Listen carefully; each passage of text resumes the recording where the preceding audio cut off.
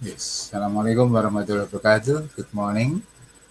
Alhamdulillahirabbil alamin. Salatu wassalamu ala Muhammadin wa ala alihi washabihi ajmain. Selamat pagi teman-teman, sahabat Kanal Kong. Uh, Kampung Baja pagi hari ini. Nah, ini segmen baru yang uh, mungkin tapi setiap saat kita memang membuat baru hal-hal yang baru dan biar tidak mandek begitu. Pagi hari ini saya kedatangan tamu yang bosan di rumah. bosan di rumah ya. uh, memang sudah sering ke sini kan ya Mas Rafiq ya, ya? sering. Mas Rafiq ini dari Forum Lingkar Pena, ini dari Forum Lingkar Ballpoint. ya, ya kan generasi sekarang kan oh, iya. tidak akrab lagi dengan pena kan akrabnya dengan keyboard. Dengan keyboard. Iya, ya. dengan keypad.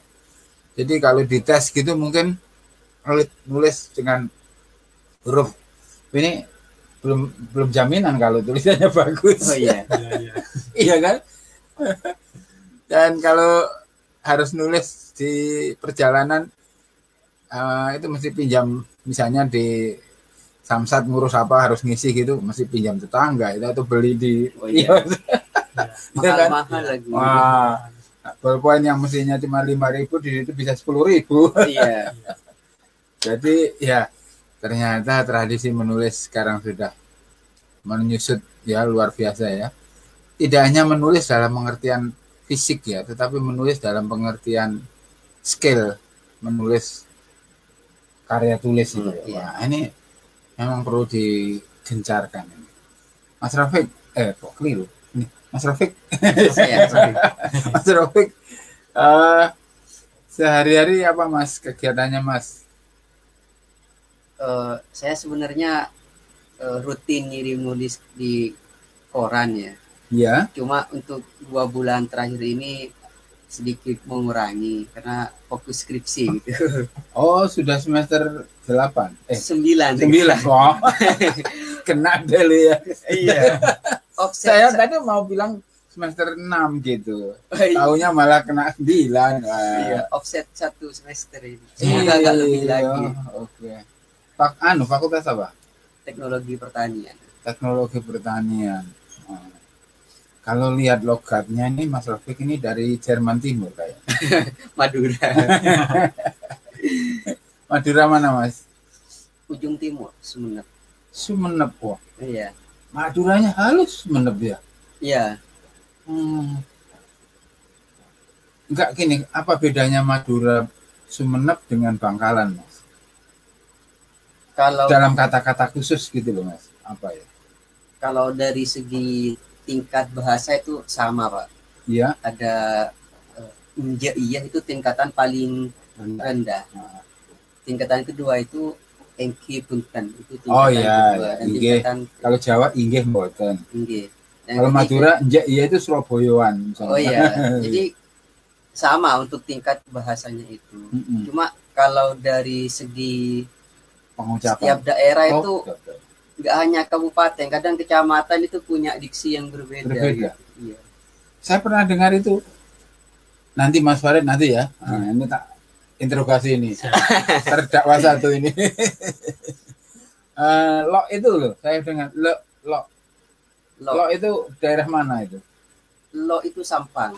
Sampang ya. Iya. Artinya apa itu? Mun, kalau. Kalau. Iya. Kalau lo, kalau Sumenep, kalau itu apa? Mun. Mon. Mun, M U N. Oh, M U N. Mun. Oh, Mun. Iya. iya. Coba buat kalimat dengan Mun. Mun endar kasur boja. Cek kelopain. Cek kelopain surat vaksin. Konteks tuh kali. Nah, sekarang itu dirubah ke pakai lo. Ayo, gimana? Ya terpaksa daerah lain ya. Iya, lo mangkat ke surga aja cek lepai anu oh, banyak bedanya gitu. oh gitu ya iya tidak hanya satu kata tapi anu lainnya juga iya ada bahasa juga kayak kamu misalkan mm -hmm. itu kalau sumenep benak Iya. Kalau Pamekasan Ber- be. N. Oh iya. betul. Kalau sampah kaki. Kalau Mangkalan hedeh gitu. Mm-mm. Nah, Terus ada lagi yang kayaknya karena Madura itu kental dengan Islam, Iya. dan Islam dengan Arab, maka di situ ada diksi Arab. Misalnya la, la. Lah. Nah. Lah itu jangan. Nah makanya Iya. tata krobuzina, Iya. jangan Dengan mendekati kantor pos. jangan, iya. Jadi lala itu kan bahasa anu Arab. Bahasa Arab lah tidak. Lah, tidak. Oh, iya, iya. Jadi saya itu walaupun bukan orang Madura yang ngerti sedikit-sedikit karena di desa saya, saya itu orangnya Madura. Iya. Tapi saya tidak terkontaminasi. Iya. Saya tahu Independen. Independen saya. gitu. Nah, sekarang Mas Farid ya. Mas Ibad Ibad. Ya. Ah, ibadis solihin. Wah, ini. Ya namanya nama anu semua ini. Gimana Mas Ibad? Sekarang sudah nyusun skripsi apa belum?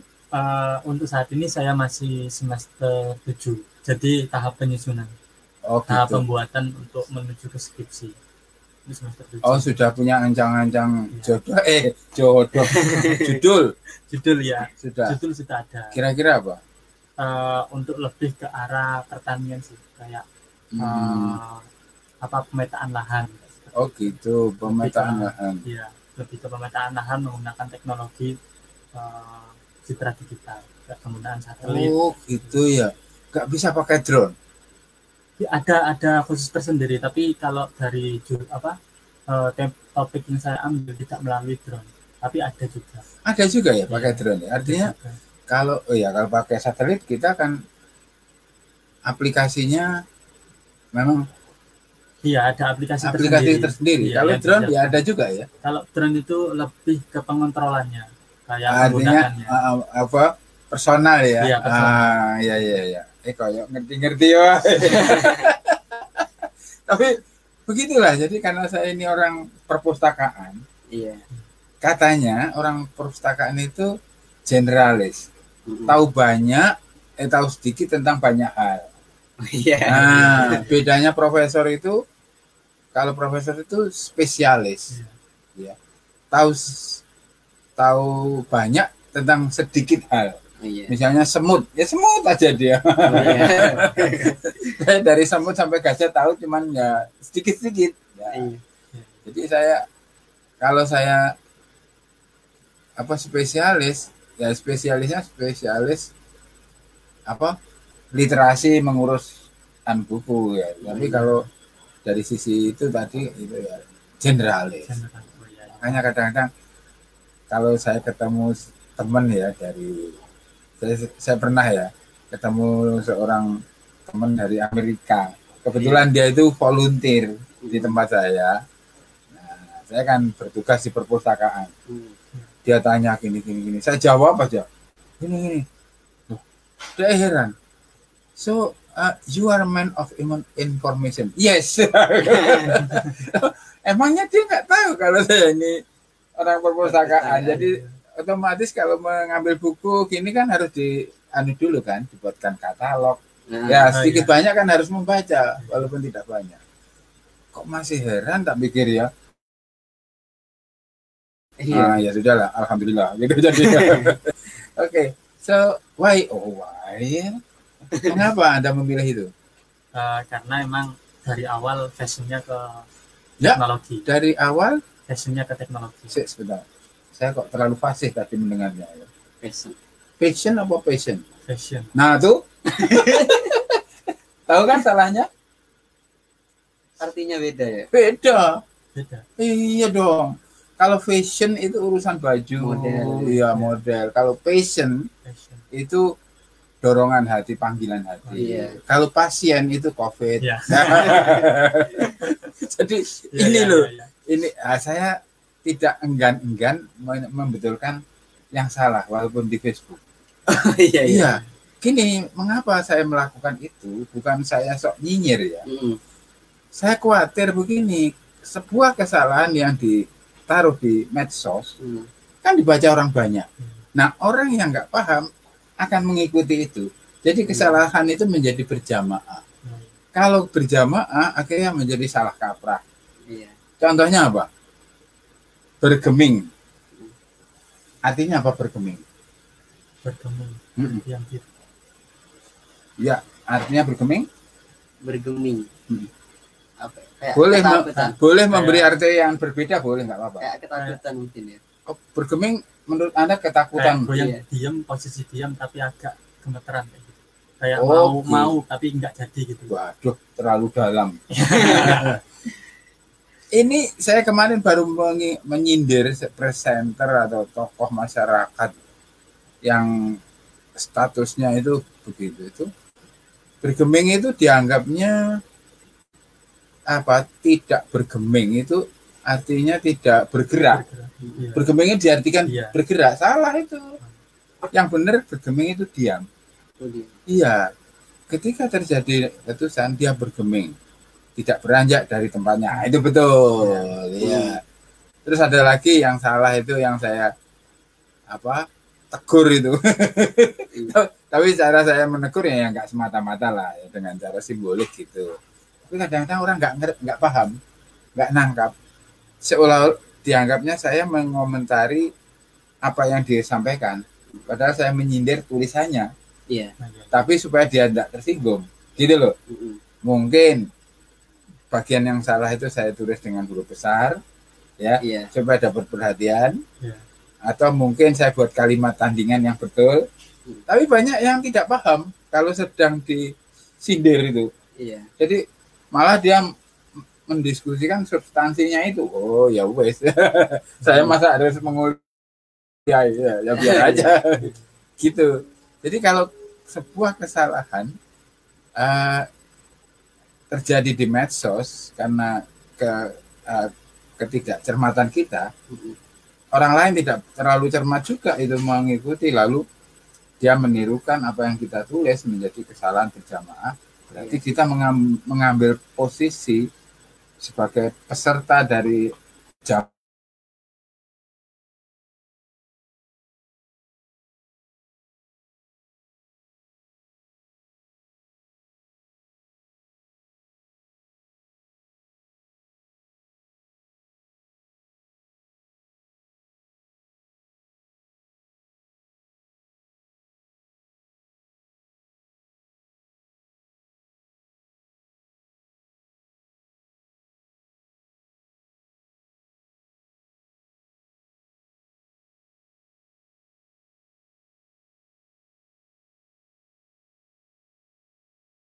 什么啊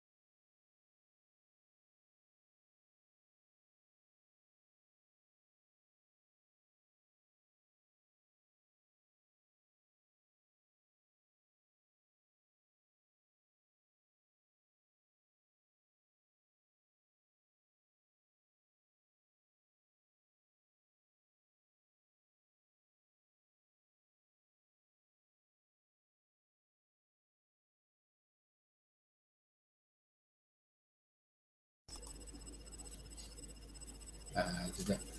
Alhamdulillah kita tersambung kembali. Ada trouble sedikit. Jadi jadi soal apa namanya Kesalahan. kesalahan tadi ya. Iya. Dan kalau saya melihat sehari-hari itu kan eh, status-status itu kan ada yang eh, isinya menasihati orang ya. Iya. Menasihati dengan kata imperatif. Iya. Jadi memerintahkan. Mm-mm. Nah, seolah-olah semua yang baca itu di, disuruh kan gitu ya. Iya diperintah. Menurut Anda gimana? ya? Enak nggak Anda itu setiap kali baca terus disuruh begini, kalau sedih disuruh begini.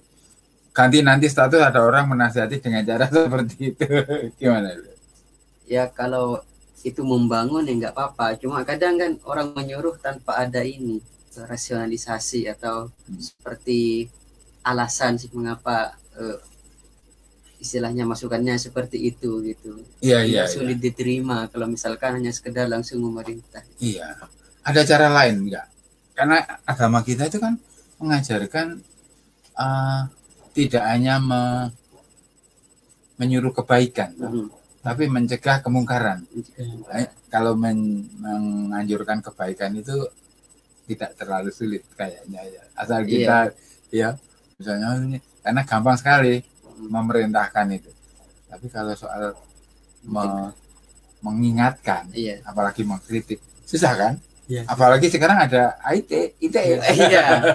Sulit. ya. Agak sulit. sulit ya. Iya. Jadi kira-kira gimana kiat kita untuk melakukan perintah itu secara apa ya eh, harmonis? Ya kita yang menasehati, tapi sesekali kita juga mengingatkan hal yang baik tanpa melukai atau jadi kalau soal melukai itu kadang-kadang kan ada istilah kritik membangun. Iya. Tapi menurut saya kritik itu ya ya kritik Iya. bangun atau tidak itu Iya. tergantung yang dikritik kan Iya. gitu ya kalau dasarnya memang nggak disuka dikritik ya baru disindir aja sudah tersinggung Iya, udah disomasi. ya. Iya gimana caranya caranya kita mengi- mengingatkan tanpa menggurui lah istilahnya Menurut anda pengalaman anda yang anda lakukan Mungkin sulit ya kalau eh, melihat orang-orang itu tidak bisa disamakan karakternya. iya iya iya Dia sampai harus- kalau di medsos kita akan Iya. Bertemu dengan bertemu dengan banyak banyak orang Iya. dalam saat yang bersamaan Iya. karakternya beda-beda dan belum mengetahui juga. belum mengetahui juga tapi kita ingin diterima dengan cara yang lain gitu ya Nah, baik yang suka maupun nggak suka itu sama-sama menerima gimana caranya Saya kalau saya hati-hati aja kalau main sama digital ini. oh gitu ya sulit kalau ya. anda Kalau eh, saya sih kalau memberikan sebuah apa namanya sebuah motivasi ataupun eh, kata-kata yang di medsos, saya itu sering buat kata-kata melalui Instagram kayak kata-kata yang sifatnya membangun gitu. Tapi Mm-mm. untuk sasarannya dari yang saya guide itu agaknya ke orang-orang yang muda-muda soalnya motivasi itu motivasi saya yang saya ambil itu lebih ke kata-kata kayak eh, membangun kayak gitu iya iya iya membangun iya iya sebenarnya saya mau cerita aja sih Hmm. ini cara saya Iya. Cuma saya tanya dulu. saya melakukan dengan cara seperti ini. Pertama, saya tidak tidak mengatakan apa yang belum pernah saya lakukan. Mm. Kalau itu saya lakukan, saya mengambil sumber dari orang lain yang memang layak untuk dicermati. Ya, jadi kata, jadi saya nggak nggak nggak diminta bertanggung jawab gini. Bisa ngomong tapi nggak bisa menjalani. Yang ngomong Iya, itu iya, kok, ah, gitu. iya, itu satu. Nah, Iya. jadi saya melakukan pengalaman saya dulu dulu saya pernah kisinan, Mm. ya tuh pernah kisinan, pernah disindir, pernah disakiti. Iya. Tapi itu kan akhirnya menjadi perpustakaan batin. Iya. Eh, iya toh? Iya, iya. Oh saya eh, kalau begitu ah, kan gitu kan. Nah, itu satu. Yang kedua, saya menggunakan orang ketiga eh, so- oh, tokoh yang mewakili diri saya dengan nama yang lain. Oh iya. Nah, jadi saya narasikan di situ dalam sebuah cerita yang kira-kira menggambarkan pesan saya. Mm. Nah, saya punya tokoh misalnya Iya, bro. eh, Brodin itu sebetulnya diri saya toh. Iya, iya, iya. nanti kalau ada yang protes, "Oh, itu kan Brodin. Tapi bukan maksud saya melarikan diri Iya. supaya supaya orang tidak melihat ini sebagai sebuah khotbah gitu ya. Mm. Tapi jadi dengan cara itu ya saya lebih leluasa lah. Mm. Misalnya saya pernah dipermalukan orang kalau saya nggak bisa nggak usah mengatakan itu. Saya rutin kemarin dipermalukan orang. Akan nggak ringan beban saya. Iya. itu jadi dengan cara itu aman saya itu. Nah gitu. Nah kembali lagi tentang ini mas. Eh, sebetulnya saya melihat ya eh, status itu bisa sangat bermakna. Mm. Bisa juga menjadi receh kan gitu ya Iya. bisa menjadi malapetaka Iya. nah sekarang apa yang anda lakukan untuk membuat status-status anda itu tidak receh Mm. artinya satu saat malah menjadi investasi nah Iya. gitu kira-kira apa mas Taufik Kalau status kan kalau media sosial banyak ya. Mm-mm. Ya, kalau seperti WA, Hmm. Kadang itu saya banyak eh, istilahnya menyembunyikan ke orang-orang tertentu seperti itu. Hmm. Jadi saya mungkin karena eh, terlalu banyak teman ya dari banyak golongan juga agama Hmm. juga banyak. Hmm.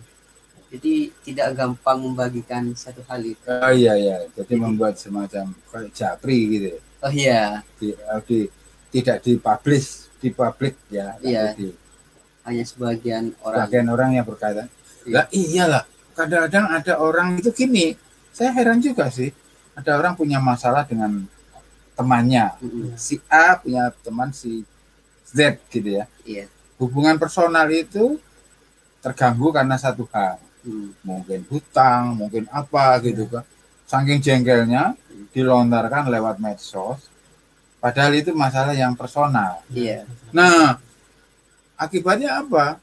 Semua orang yang nggak terlibat kan membaca, Iya. sehingga tidak nyaman situasi itu ya, Iya. walaupun tidak mengenai dia, kan gitu kan? Iya. Nah itu, jadi itu. Kalau anda tadi, ini Mas Rafiq menjawabnya begitu. Kalau anda punya kiat apa apa anu, hal-hal yang tertentu yang eh, status-status kita di medsos itu nanti bermakna apa? kalau saya sendiri kadang-kadang juga menggunakan sosial media ini ada beberapa khususnya yang paling giat ini Instagram dan juga Facebook Mm-mm. otomatis kan kalau kita uh, membuat cerita di Instagram otomatis Mm-mm. di Facebook itu biasanya tersambung Mm. nah untuk uh, apa yang saya tulis itu kadang-kadang ya kayak berita-berita yang terbaru kayak Hmm. berita-berita panas di nasional kadang Mm-mm. juga saya memberikan apa ulasan sedikit mengenai pengetahuan Wah, masalah kayak Refli Harun deh. ya, Iya. kayak seperti itu Iya, iya, iya. Bagus, bagus, bagus. dan juga kadang juga masalah pribadi kayak eh, saya mengalami sesuatu masalah itu kadang saya menceritakan dengan diksi yang berbeda Betul. ya kayak gitu Eh, rata-rata cerita saya yang bagian seperti itu di melalui media sosial Iya, memang medsos itu sebetulnya banyak sekali manfaatnya. Hmm. ya. Aktualisasi diri. Ya, kadang-kadang kan kita merasa masalah yang ada di dalam diri kita itu tidak tidak bisa kita pendam. Hmm. Tapi mau ngomong ke siapa, Ya. nggak punya tempat. Iya. ya. Mau dibuka, loh ya kan. Nah, jadi kita mesti punya trik toh. Nah, nah, lalu dalam kehidupan, walaupun kita ini bukan, bukan orang besar dalam pengertian bukan besar badannya gendut Iya. begitu, tetapi itu tidak menutup kemungkinan bahwa kita itu mendapat kearifan dari hidup yang kita jalani, Hmm. sehingga kita menemukan dalam tanda petik kata mutiara Iya, iya. yang sangat personal. Iya. Mungkin orang lain tidak, nah itu kan Iya. kan itu modal bagi kita. Kalau dijadikan satu tabungan investasi, bahwa satu saat ini kita bukukan.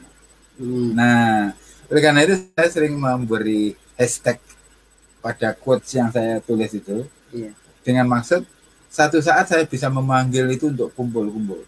hashtag Hmm. hashtag kumpul kumpul. Hei kumpul hashtagku hashtagku gitu kan. Nah itu nanti kalau diedit terus di format dalam bentuk satu buku kecil saja asal ilustrasinya bagus bisa jadi karya kan? Iya. kayak itu. Terelia itu masya Allah. Mahal banget tuh quotesnya quotesnya itu Iya. karena satu halaman itu satu quotes Iya. jadi satu quotes tapi dihias begitu rupa lalu hardcover lagi Iya. sembilan puluh ribu tapi ya karena saya diberi ya saya terima. Ah, ada yang memberi saya itu akhirnya saya kecanduan ya membuat mengkoleksi buku-buku seperti itu ya nah, itu. lalu memberi dorongan pada saya ah, nah iya quote saya yang di medsos kan bisa dikumpulin Iya. Iya. Di buku. iya toh Iya. Heeh. nggak usah ke penerbit besar uang diterbitkan sendiri juga bisa Iya. sekarang ini kita ini dimanjakan oleh fasilitas Hmm. cuman kita digoda habis-habisan oleh kemalasan Ah, iya Iya, betul. iya, betul. betul kan Iya, betul. iya karena saya ini orang tua enaknya orang tua itu gini loh sudah me- mengalami banyak hal. Kalau orang muda bisa juga seperti itu. Ya. jadi itu mas tentang uh, uh, do you want to say something? Yeah yeah. Gimana? about ya kayak bocor keren ini kan closing statement. Oh, iya. Ya kalau saya sih berharap ke depannya konsisten di dunia literasi gitu ya ya, baik di dunia mungkin cetak ataupun digital karena Oh. perkembangan sudah sangat pesat mengenai informasi Mm-mm. jadi saya eh, memposisikan suatu karya itu sebagai tabungan di betul kemudian hari iya Iya. iya Uh-uh. ya apalah yang eh, bisa kita lakukan di saat kita misalnya ya apa yang ada sekarang ini kan di samping kesulitan kemudahan yang tersedia di depan kita itu sangat membantu kita iya. Kita nggak ke mana-mana bisa ke mana-mana. Iya. bisa di mana-mana. Iya. Gitu kita nggak punya kertas bisa nulis saja. Nggak punya buku anu tempat menyimpan kita titipkan di cloud Iya, iya. Dia, jadi apa yang membuat kita itu harus berhenti ya jadi eh, kalau anda Eh, kalau saya sendiri eh, apa ya lebih ke penggunaan media sosialnya itu lebih bijak dalam eh, memberikan apa eh, kritik ataupun membuat cerita-cerita di media sosial itu Hmm. lebih dijaga karena eh, apa yang kita ucapkan itu akan berdampak pada kita sendiri ke depannya seperti itu. iya betul betul jadi kalau kita semboro Iya. kok semboro semua urusannya sembrono kalau kita sembrono kata orang kan ada jejak digital iya Iya. Jadi ya mungkin kalau dulu ya eh, ini satu ilustrasi saja lah. Sebelum ada digitalisasi itu kan semuanya pakai film, Iya, iya. pakai seluloid ya rekaman pakai se anu titan gitu. Iya. Itu mudah sekali dihapus. Karena rata-rata yang kita menyimpan sendiri. Nah, tapi kalau film sulit karena yang membuatnya kan behind producer sudah diedarkan ke mana-mana lah Iya. tokoh-tokoh yang mau pernah bermain film lalu dulu memerankan hal-hal yang hal-hal yang itu gitu kan Iya. sudah terlanjur image-nya terbangun seperti itu Iya. suatu saat dia melihat tayangannya sendiri kan ada semacam penyesalan ya iya nah, sekarang jejak-jejak digital yang kita yang sudah tercatat di Love Mahfuz sebetulnya gini loh ya semakin canggih perkembangan teknologi Mm. itu sebenarnya sem- semakin mendekatkan keyakinan kita pada kebenaran Mm-mm. iya kan Iya, iya. dulu kita ha- hanya diberitahu ini nak mau apa roket atlet ya iya iya kan Iya. Aktif. iya Iya. yang kiri aktif yang kiri atlet ini kiri toh iya atlet roket Roket, iya. Nah, terus di anu bongkar nangkir ya, ya. Iya. semuanya gaib Iya. Ya, sekarang apa yang real saja sudah masih gaib artinya kayak DNA itu ya Iya. mencatat perilaku kita Hmm. apa sifat-sifat fisiologis dan psikologis kita di Hmm. tubuh itu kan Iya, iya. virus iya kan Iya. vaksin ya itu kan terus oh ya termasuk rekaman-rekaman digital yang terus kita bisa hadir di tempat lain. Itu seolah-olah dulu kan gaib. Iya. sekarang enggak loh. Kita sekarang ini hadir di mana-mana. Tergantung orang yang nonton ini sudah dua. Berarti Iya. di sana hadir dan di sini ada. Nah jadi dari itulah kita menyadari oh jadi apa yang menggambarkan kita seperti itu itu bukan omong kosong Iya. Iya. iya kan jadi begitu ah, terima kasih untuk perbincangan pagi hari ini dan saya memang selalu me- me- menyudutkan tamu-tamu saya di tempat yang di sudut tempat yang sempit ini untuk melakukan sesuatu. Iya. Ayo diminum dulu. Habis nggak ada sponsor sih. Itu kemarin ada sponsor kopi man apa itu robusta Oh, dari anu itu. Cuman saya tadi nggak nyiapkan sih. Oh iya. Ya, nanti buat sendiri. Terima kasih sahabat-sahabat Kanalkom. Begitulah kalau Anda ke Kampung Baja, Anda akan dipaksa, dicecar di podcast Kanal Kong ini dengan eh, semeriah-meriahnya Iya. dan tidak diberi apa-apa. Terima kasih. Assalamualaikum warahmatullahi wabarakatuh.